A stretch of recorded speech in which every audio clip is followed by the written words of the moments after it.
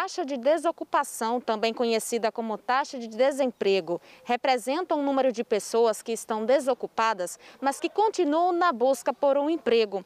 Segundo o Instituto Brasileiro de Geografia e Estatística, em maio, o estado de Sergipe chegou a 7,3% na taxa de desocupação. E quem conversa com a gente sobre o assunto é o técnico de informações do IBGE, Vinícius Rocha. Essas 65 mil pessoas são pessoas que estão ah, na força de trabalho, é, mas que não estão ah, trabalhando, são pessoas que não estão ocupadas.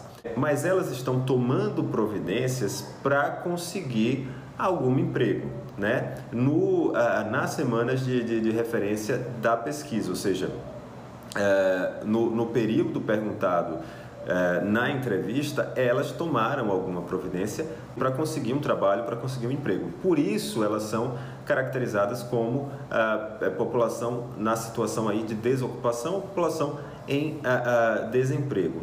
Naturalmente, o mês de maio é, é, com as restrições, com as limitações né, é, de funcionamento da atividade econômica é, aqui no Estado, é, deixando é, é, apenas estabelecimentos considerados essenciais é, funcionando, limita justamente as possibilidades de que se, se faça essa, essa busca, né, de que se procure o emprego. E para que a pessoa possa ser considerada desempregada, desocupada, né, para para o escopo dessas investigações, é, dessas pesquisas sobre mercado de trabalho, é preciso que ela esteja buscando trabalho. Cananda Micaela para o Boletim Jornal da Peripê.